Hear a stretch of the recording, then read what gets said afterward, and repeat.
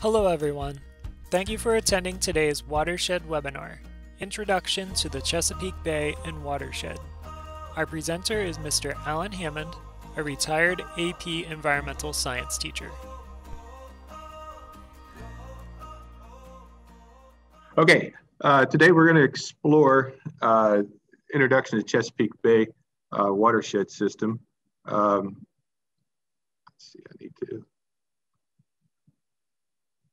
I'm kind of new to this, so this is my first webinar, so you have to kind of bear with me here. Okay, um, we'll be looking at the Chesapeake Bay itself down here, and uh, also mostly the watershed itself. Uh, the watershed of the Chesapeake Bay uh, has six states involved, starting in North New York, Pennsylvania, Maryland, very little bit of Delaware, Virginia, and a very little bit right in here of West Virginia. Okay, there's 64,000 square miles in the watershed, and it pretty much has a funneling effect with all these rivers that funnel all the surface water toward the Chesapeake Bay, which is about 4,000 square miles of surface area. Uh, the other thing about the Chesapeake Bay, it's a fairly shallow bay. Uh, there is a deep channel that runs down the center of it, making it possible for ocean going ships to come in as far up as Baltimore to unload cargo. But they always tell you if you fall out of a boat in the Chesapeake Bay, try to stand up. 80% uh, of it's less than six feet deep. So um, just a you know, few quick things about that. Uh, I'm going to switch over now to uh, another map bear with me for a minute here.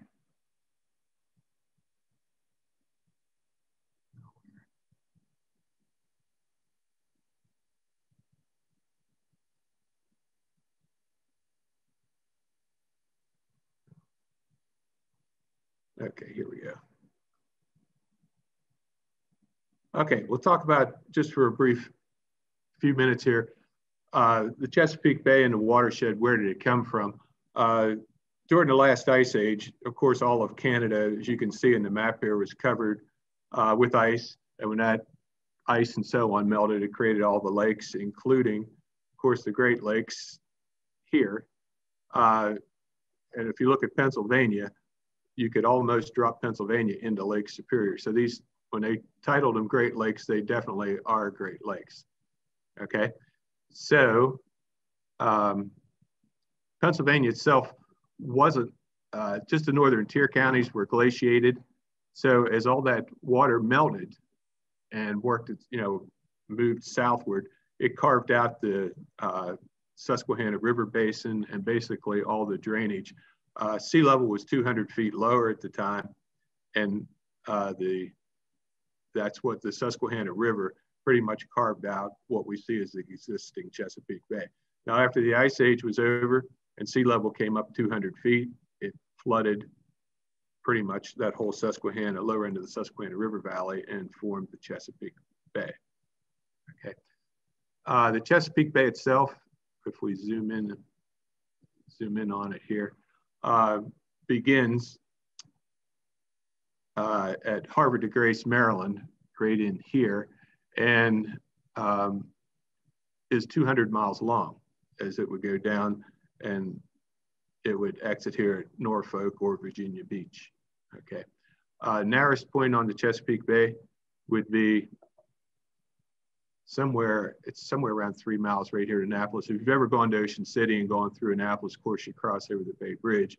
And of course, if you're going to build a bridge, you want to go to the shortest expanse. That's the narrowest point right there, about three miles. Uh, Bay Bridge goes over to Kent Island and then from there on across to what they call the Eastern Shore. This whole area is referred to as the Delmarva Peninsula. Okay, Delaware, Maryland, and Virginia occupied in that peninsula. Okay, so um, the Chesapeake Bay importance and history. Let's talk a little bit about that. Um, at the end of the Ice Age, uh, somewhere along the line, of course, there were a lot of Native Americans. When first people came over from Europe, there were tribes all around. That's where you, you find the, the names like Susquehanna, uh, Mattaponi, Potomac, Rappahannock. These are all Native American uh, names and so on. Lived along the shores, pretty much with the bay, 80% of the bay being less than six feet deep, it was easy for them to find food there. And uh, pretty much individual tribes would occupy the smaller watersheds uh, as, they, as you would see them on the map here. First European contact came in uh, Captain John Smith sailed, English captain sailed up the Chesapeake Bay and kept pretty good records and for 1608 of what the Chesapeake Bay was like. Uh, the, the oyster reefs were so big in the bay they had to sail around them. Uh, there were crabs and all kinds of food. And uh, he said this would be a good place to, you know, for the English to start a settlement. So shortly thereafter, they came in at Jamestown down here in the lower end with the very first European settlement in the Bay Area.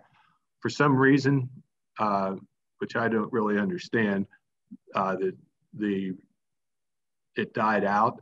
Uh, some people said they were starving and, and so on. I don't see how in less than six feet of water with crabs and oysters and clams and fish everywhere, how you would starve, but apparently uh, that's pretty much uh, what happened. Okay, so getting back to a little bit on the geography of it here. Uh, Point's three down here at the in this area here. Uh, it's about 20 miles wide, right across from the Potomac here. Um,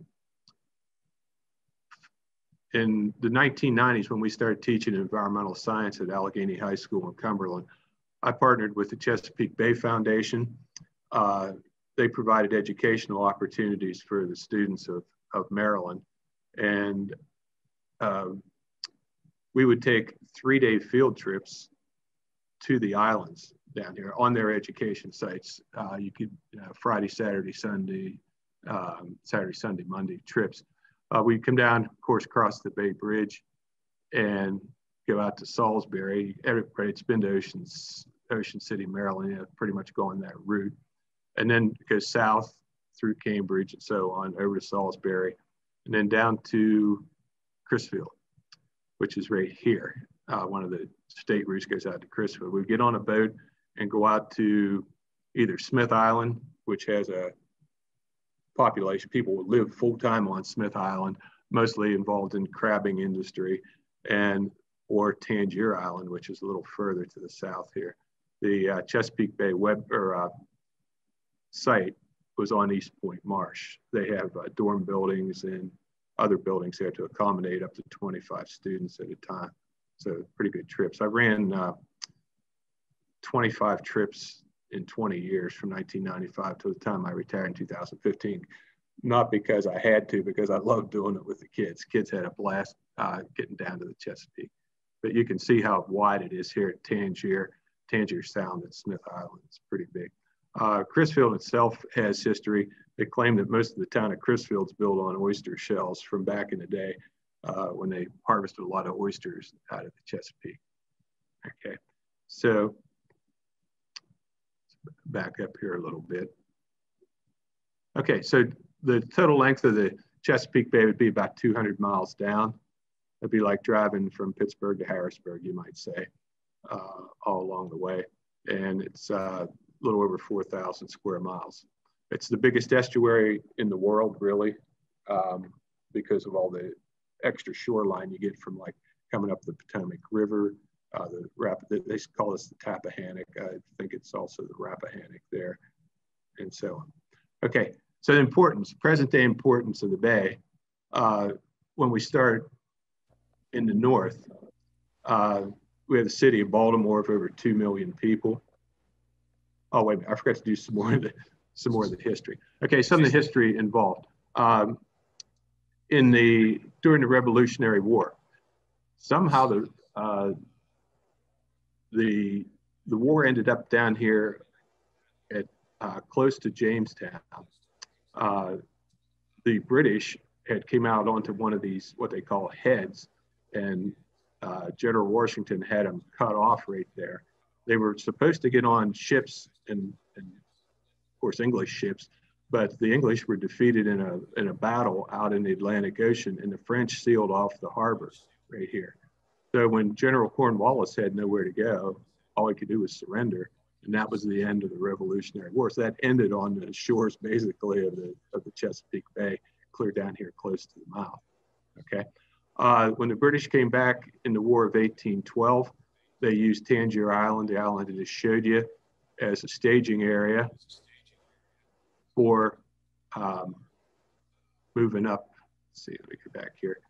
They moved up the Potomac River, of course, to Washington, D.C., and burnt the White House. And of course, the uh, they weren't ready for the British to come up and uh, burnt the White House and kind of ransacked the whole uh, city as it was at that time.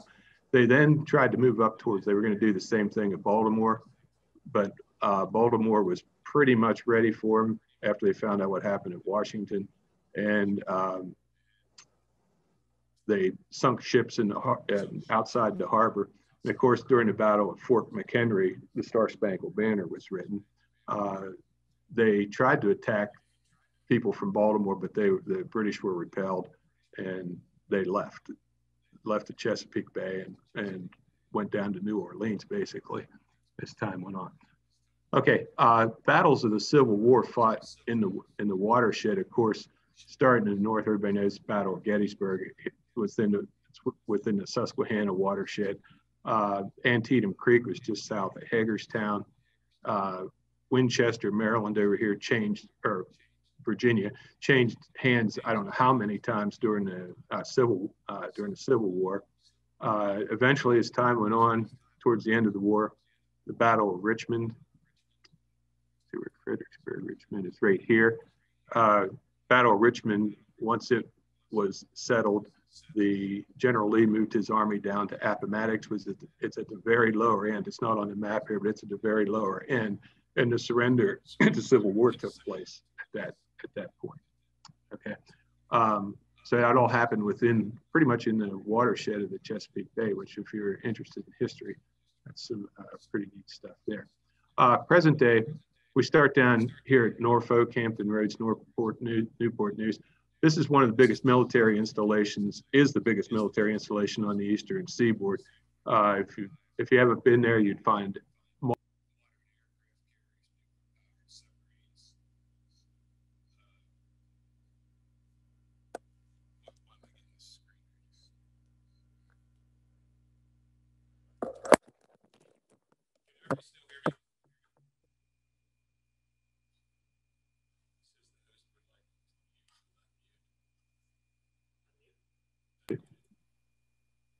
Uh, Lanika, can you hear us?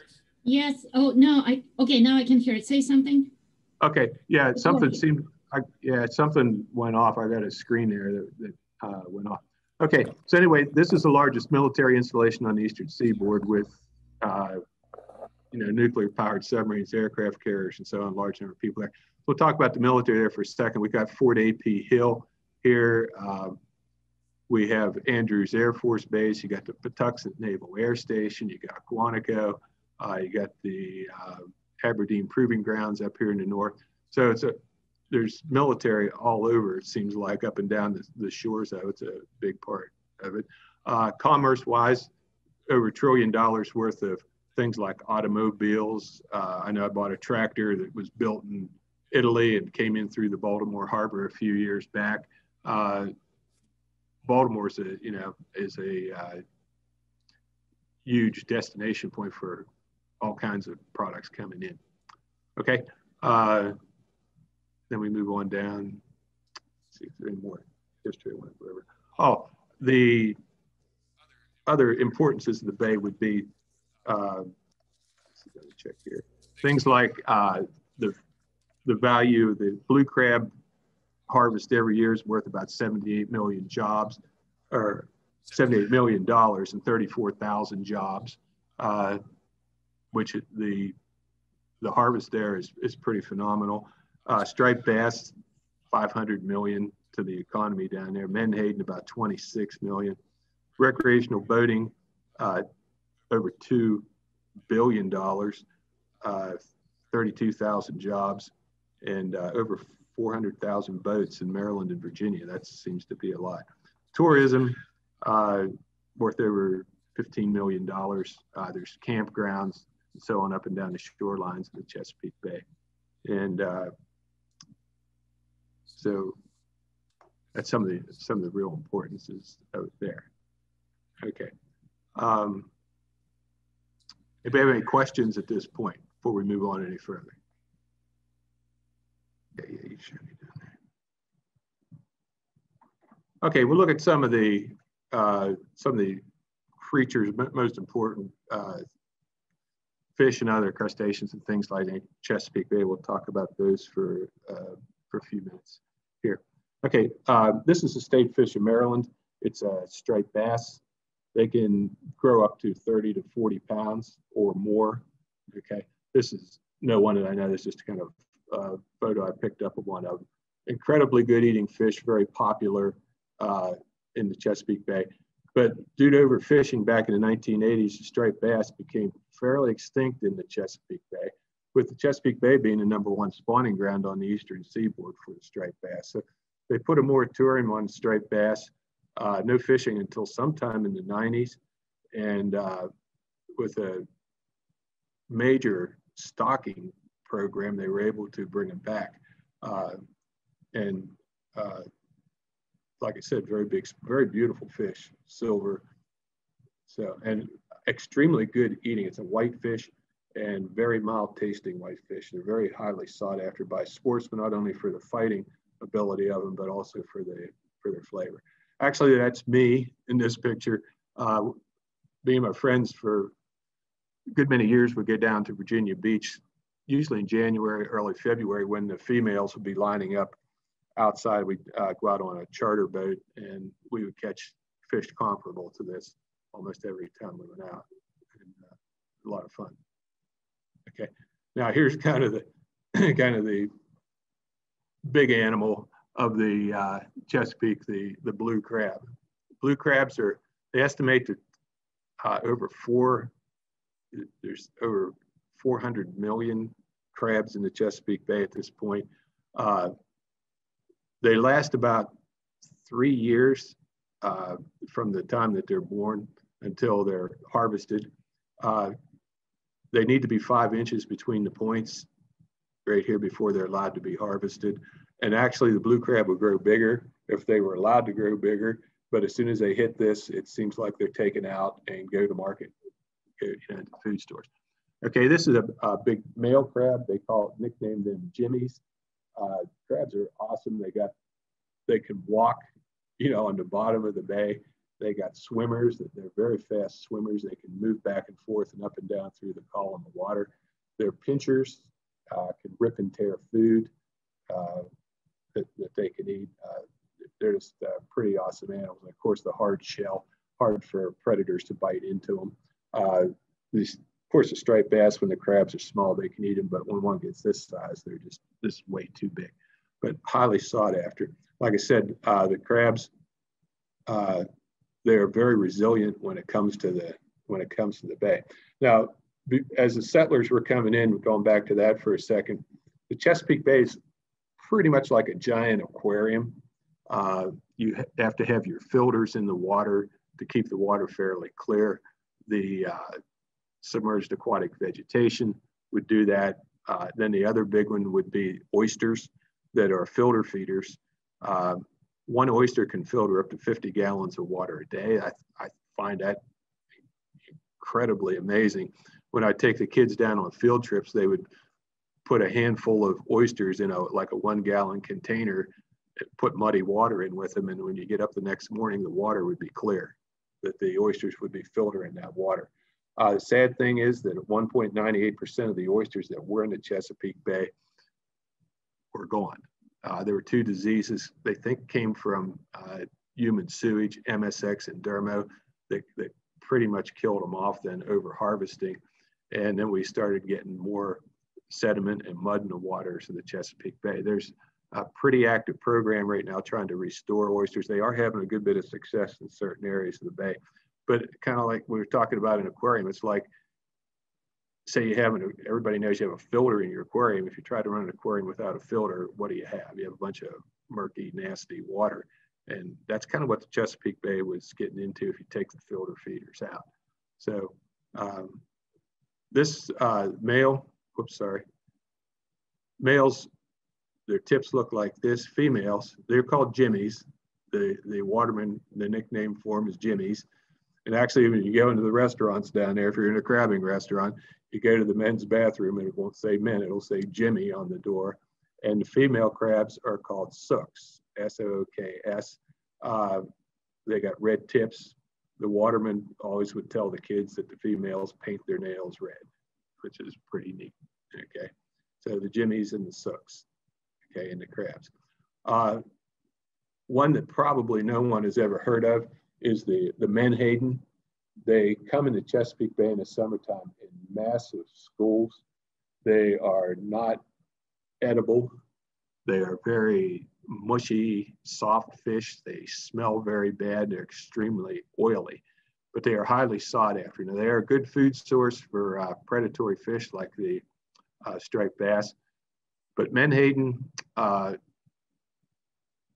are basically uh, gathered for their oil. They'll send out what they call the mothership. It's a, a, giant, well, first they'll send out spotter planes to find out where there's a school of menhaden. Then they send out the mothership and surround the whole school with nets, tighten the nets in, and then use giant, kind of like suction cannons. They look like cannons, but of course they're suction in reverse. Suck these ship up on board, and they go to Reedville, Virginia, and I'm sure you've all heard of this. They turn in, turn them into omega-3 uh, protein oil. So the omega-3 capsules uh, is coming from menhaden.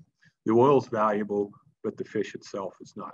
Most watermen uh, use the menhaden to bait crab pots. You rip them apart and uh, then the, the crabs will find their way into the crab pots.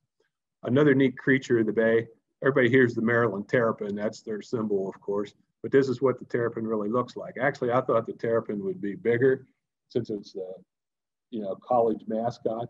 But the, ter- the terrapin's not a very big turtle, maybe a little bigger than a box turtle that we'd find in our area here, but very uh, pretty turtles, very beautiful turtles. Um, there's one that uh, one of the kids that we found on one of our field trips came up in with the dredging we were doing. Pretty neat coloration on them. Uh, they were almost eaten into extinction. Uh, settlers like to eat them.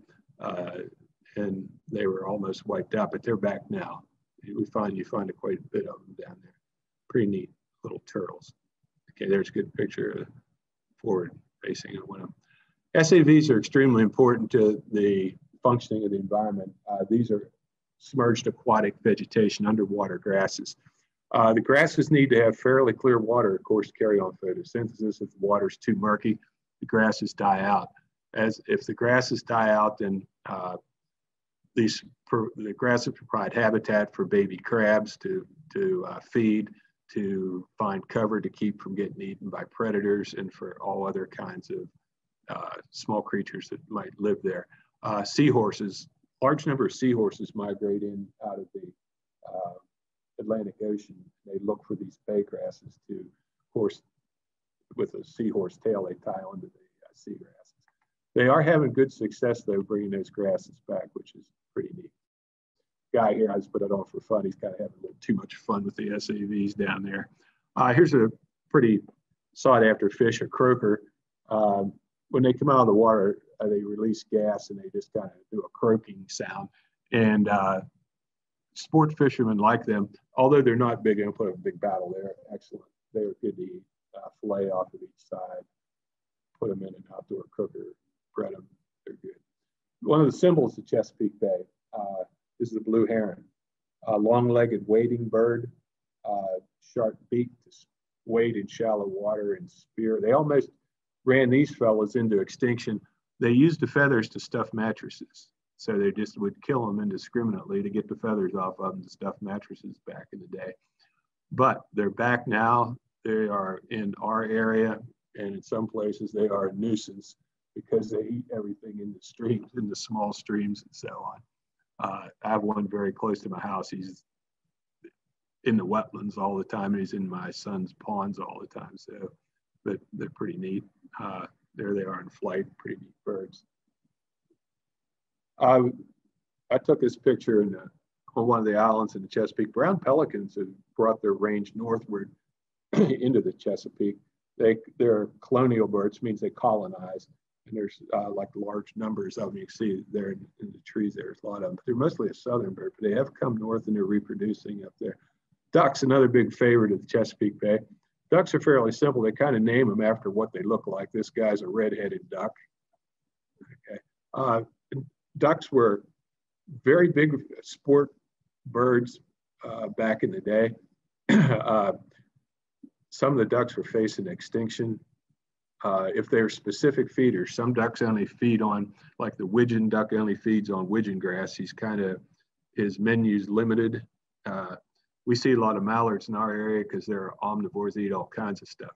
But uh, Chesapeake's known for a lot of ducks. These are pin-tailed ducks. I can't see it because of the picture there, but they have a sharp pointed tail out the back there. Uh, this is a canvas back. They thought it looked like a white piece of canvas the canvas back there. Uh, here's Tangier. This is what Tangier Island looks like. Um, only about a thousand people live on Tangier. I don't know how many soldiers in 1812 the British had on there camping on here, but uh, they do have an airstrip for emergencies. We'll take smaller planes and helicopters could land there if they have if they have emergency. This is the main street of town. Uh, there's no cars on the island. They drive golf carts. That's about it. And then all these are their crabbing boats and fishing boats that are docked out here. You know, uh, for, and they don't, uh, when they are ready to sell the crabs that they catch, a, a buy boat from the mainland comes over once a week on Saturday and picks up the crabs off them. So these folks never leave the island too much. And they have a specific dialect that was studied by linguists. And they said that uh, throughout the last several hundred years, they've, they've never mixed with the American population and their their English accent has stayed with them. So it's kind of interesting to talk to them. Like instead of saying crab, they say crab. Okay.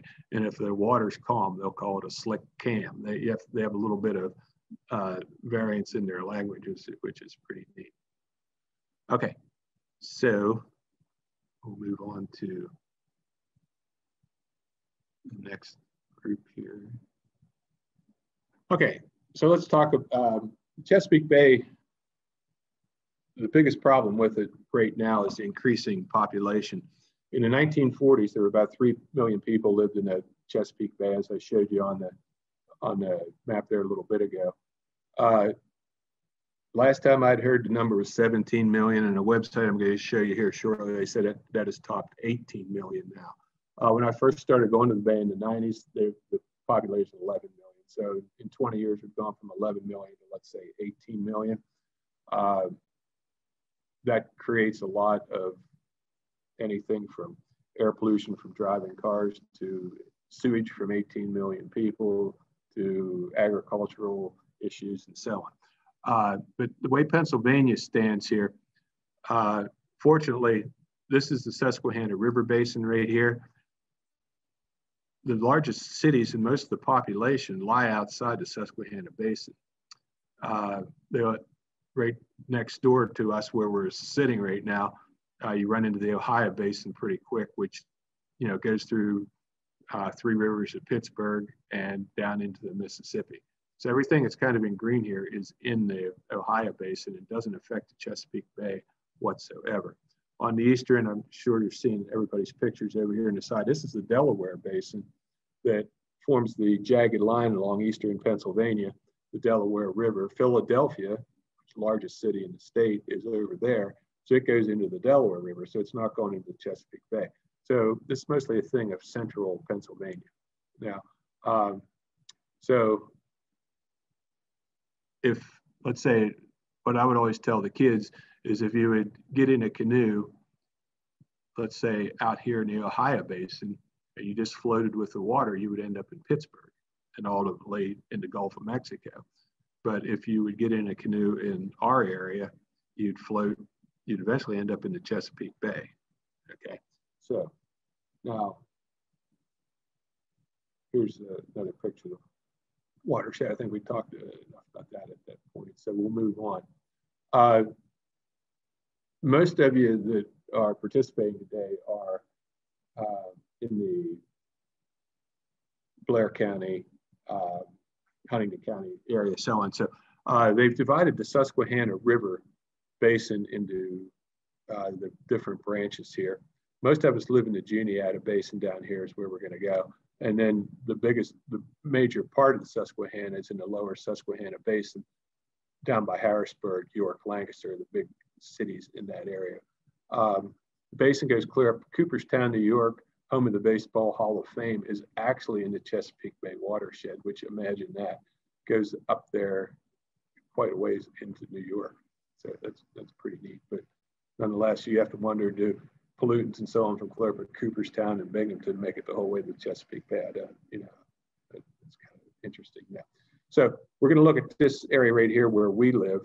This is the Juniata Basin. Stop there momentarily. Um, if you, some of you I saw were from uh, Hollidaysburg area. Um, and uh, some you, uh, somebody was on the list, I think, from Penn Cambria. So you're basically outside the Chesapeake Bay Basin. You would be over into the uh, Ohio watershed. But the uh, Eastern Continental Divide is on the edge of the, of the watershed up here. It'd be the mountains just to the west of us, or where you guys are in Hollidaysburg and Altoona so. Okay, so for Bedford people, uh, the water would come down, flow down this way. And then it cuts north down by just below Everett. Oh, closer. Okay, okay. Um, it would be, the water would flow north into the uh, Raystown Dam, which is a good nutrient trap, phosphate nitrate trap. Uh, comes out the other side, picks up, the, goes into the Juniata River here, and eventually flows north towards Lewistown and into, into the uh, Susquehanna just north of Harrisburg. Okay, and then on its way to the bay. So um, in Altoona, you'd have the Frankstown branch of the Juniata flowing through here. Uh, Martinsburg, you have Clover Creek that flows north and so on. So it's kind of interesting. A lot of people seem to think rivers need to flow south. They don't. We have a good example. Most of the rivers in our basin are flowing kind of to the northeast with the curvature of the mountains and so on. Okay, here's the Harrisburg uh, basin here, Harris, Harrisburg, York, Lancaster.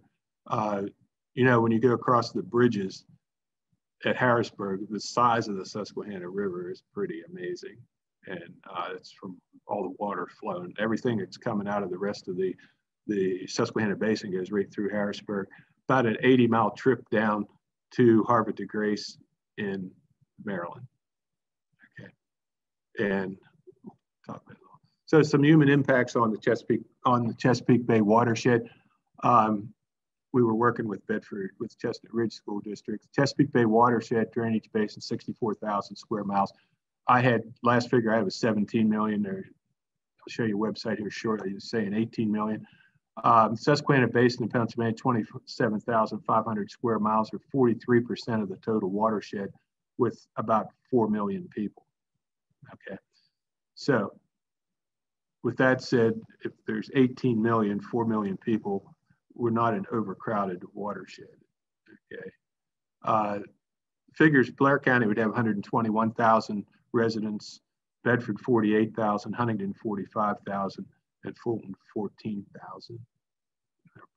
So sources of pollutants that may affect water quality could be coming from residential, could be coming from our, could be coming from uh, sewage coming out of your house, could be from uh, garbage, lawn chemicals, uh, be common sources. Agricultural would be fertilizers, animal sewage, and chemicals that are used in rivers, lakes, and streams.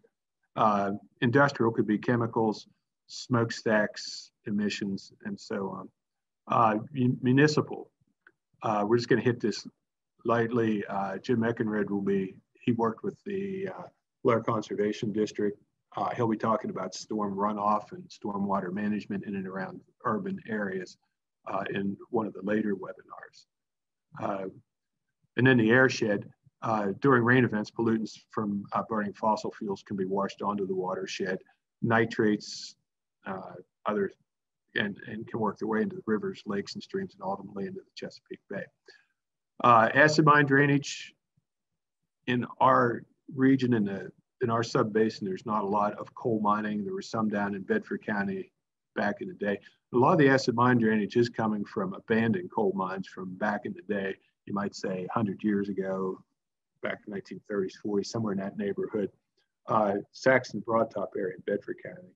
Uh, but fortunately, most of the coal mining was outside the uh, Chesapeake Bay watershed for, for us. Uh, one of the biggest problems is eutrophication. Nitrates and phosphates can come from human and animal sewage.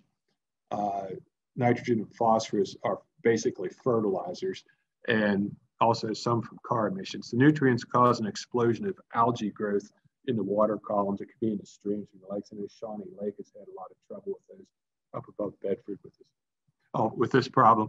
Uh, the algae eventually dies decomposing. Bacteria consume the dissolved oxygen it's in the water column and can suffocate, can cause fish kills and other organisms. They've had problems with this, with this in the Chesapeake Bay itself. Uh, every year they look for what's called dead zones. I was on a research vessel on a teacher training trip at uh, Sullivan Island, and we would they would drop basically a house water pump uh, and keep dropping it. We would take water samples till we found where the oxygen level in the water was at zero.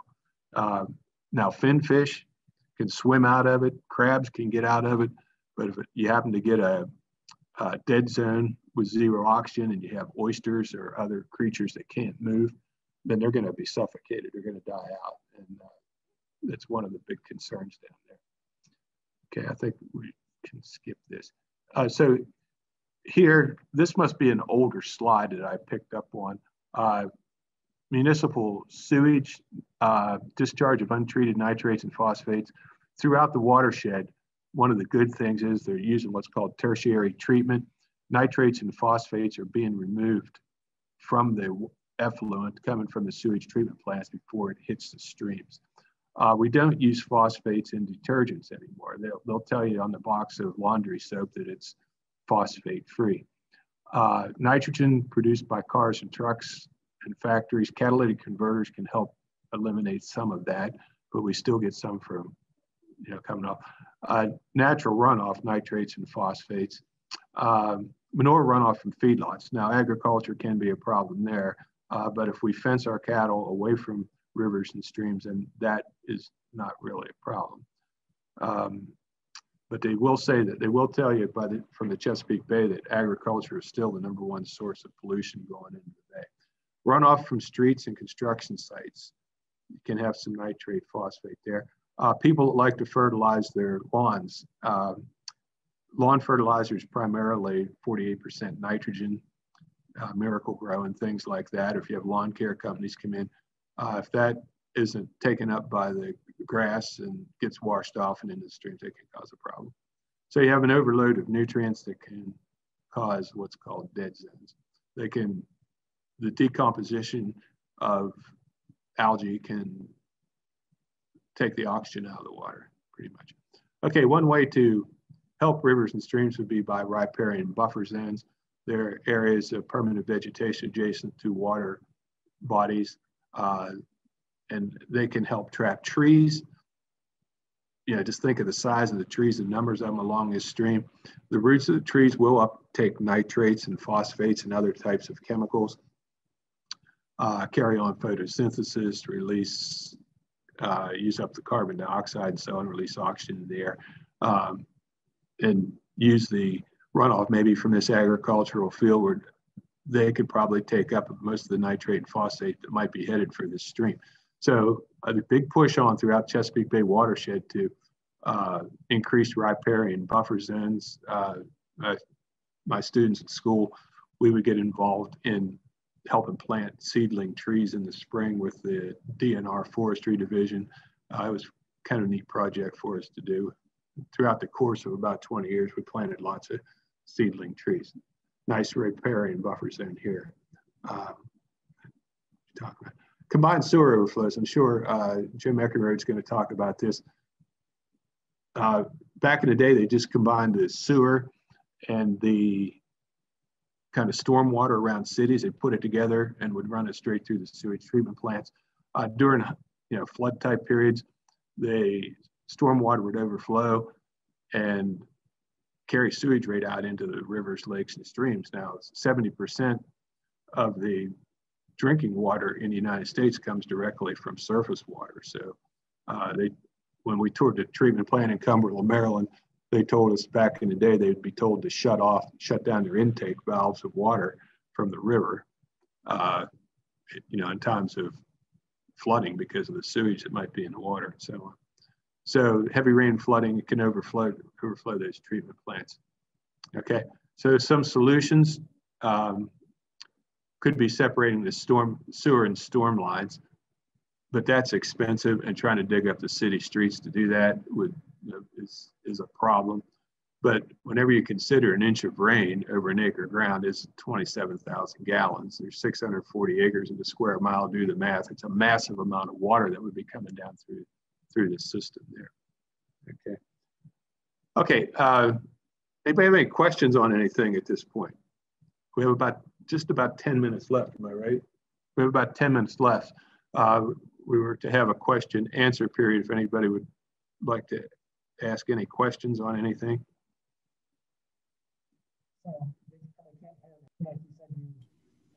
If you have questions, please unmute yourself and ask a question, or you can post it in the chat.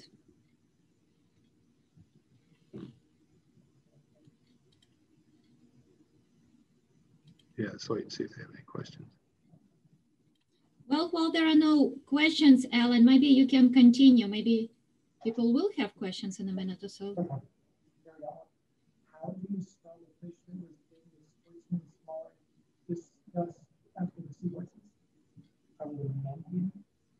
Oh, M-E-N-H-A-D-E-N. Alan, there is a question. Yeah, yeah, we had a question. I think it was the Menhaden. Is that the one that they were asking about? H A D E N. No. After the terrapin. Okay, tell me. Hold on a second. I'll have to bring that slide back up for. him. Because I can't. Uh,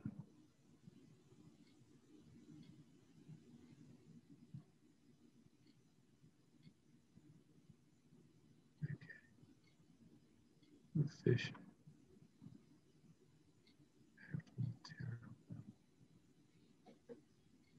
Oh, Croaker? C R O A K E R. A K A K E R.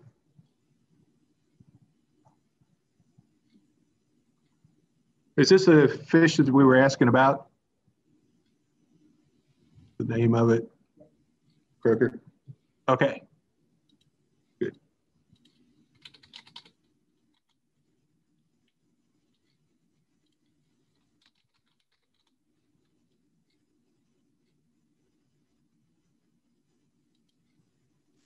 I have a quick question. Okay.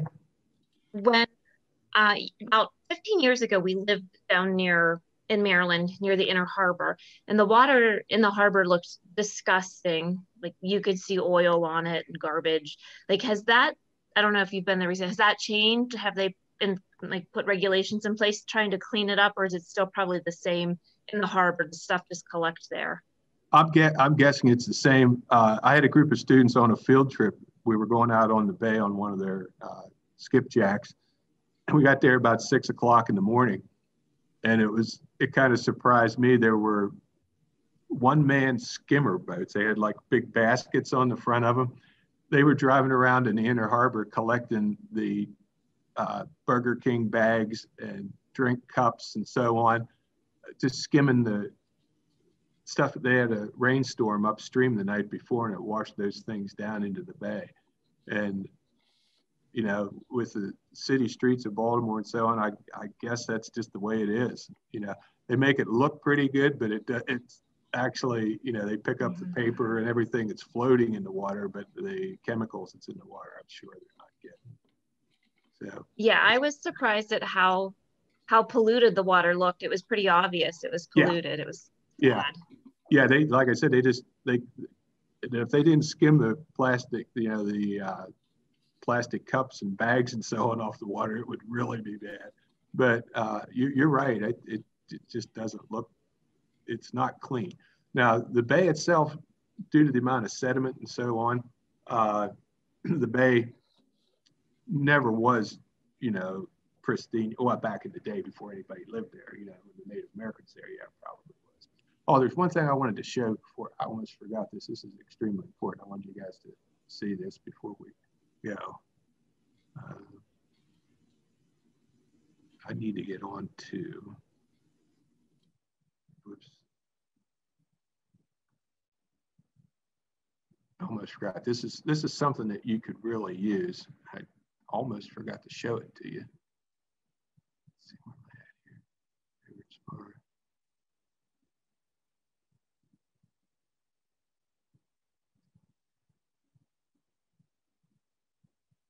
Here's a website called the Chesapeake Bay Program. Uh, I got carried away there talking about some of that other stuff.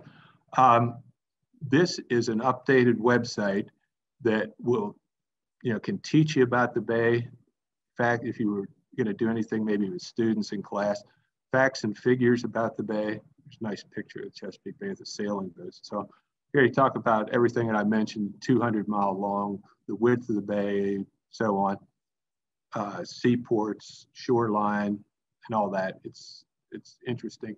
Um, field guides for animals, you know, whatever you're looking for there, birds, fish, what have you, uh, about the issues. They have some pretty neat things here. Um, how agriculture affects, like if you would, like you click on that and uh, they have some little short videos. Here's a guy, we won't have time to watch all this, but here's the agriculture is the number one pollutant going into the bay. Oh, you can't hear it? Wonder why. Okay. Okay, uh, Michael said we can't hear it, but they're there. They're interesting little tidbits of uh, information. One, anywhere from a minute to maybe five minutes long. Uh, if you're interested in uh, blue crab population, um, stormwater runoff. wonder what happened why it wouldn't play.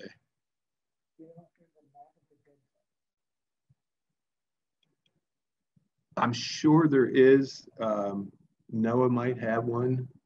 National Oceanic Atmospheric Administration at Cambridge might have something like that. But here's little uh, issues like you could, if you click on these, there may be or may not be a little video with it but uh, some things underwater, grasses, wastewater, wetlands, how all these things are valuable. Uh, here's one on the Conowingo Dam. Didn't get to mention that. This dam was built, oh, years ago. Don't know the exact time. Purpose was it was for it was to collect sediment coming down. It's rated Havre de Grace, right where the Susquehanna River flows into the Chesapeake Bay. It's there to collect sediment, which is a, is a major problem in the Chesapeake Bay. And what has happened over the period of time the dam's been there, it's almost full of sediment, and they may not be getting much value out of collecting sediment anymore because it's almost completely full of sediment. So I don't know what they're going to, uh, what the plan is to to do with that or whatever, but uh, still, you sediment's a major problem in the in the Chesapeake Bay. Here they have the overview on what it's a hydroelectric generating station, but it's also a sediment trap. And talks about the impact on water quality and so on. Uh, so this is this is a good website. I don't know if you if you guys have to write any papers to get your uh, credit for you know, you know watching these webinars or not, but you could you know get a lot of information from that website, and it is up to date. Uh, it's, you know pretty good in terms of that. Any questions on any of that?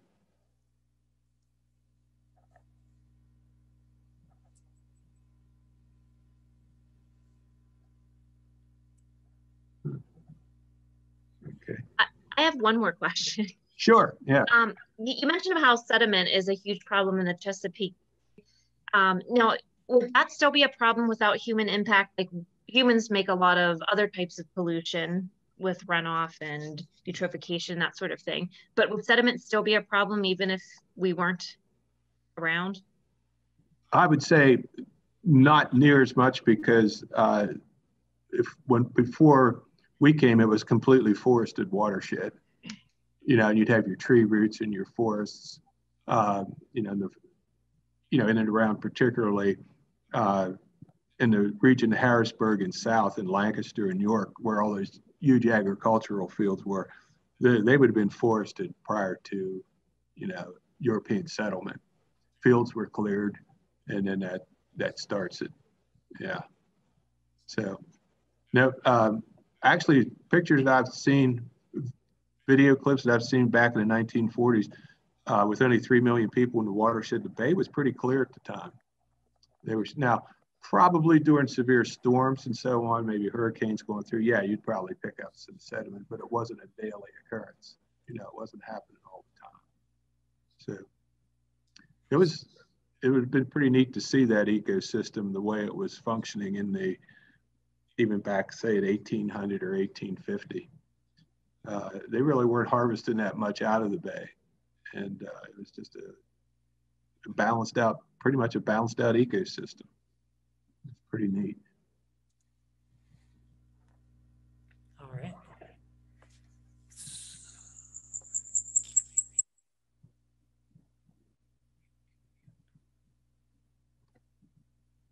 Do we have that? Okay. Okay. Can you hear me? Yes. Okay. Well, with that, we are coming up on the end of our hour. So I thank you, everybody, for attending. Um, I realized with the tech, with the computers, we had some issues with the, uh, the, the screens there. I apologize for that. Um, but I put the Act 80, 48 form in the um, chat. So please fill that out and provide feedback. And um, we hope to see you at future sessions. The next one will be on March 24th. Ask them if they need a copy of the notes.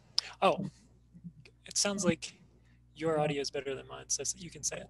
Oh, okay. Uh, would any of you need to copy the notes of things that we talked about today? If you need to write a paper or anything for your uh, for your credit for today, or not? Uh, I mean, you could probably get anything that you might need off of the Bay program website, or I could, you know, we could send you a copy of the notes. So that's up to you. Yeah, we can get it to him. Okay. You can say like an email. Yeah, we can. Yeah, they can send it to you. Yeah. All right. Well, thank you everybody for attending and um, enjoy your day.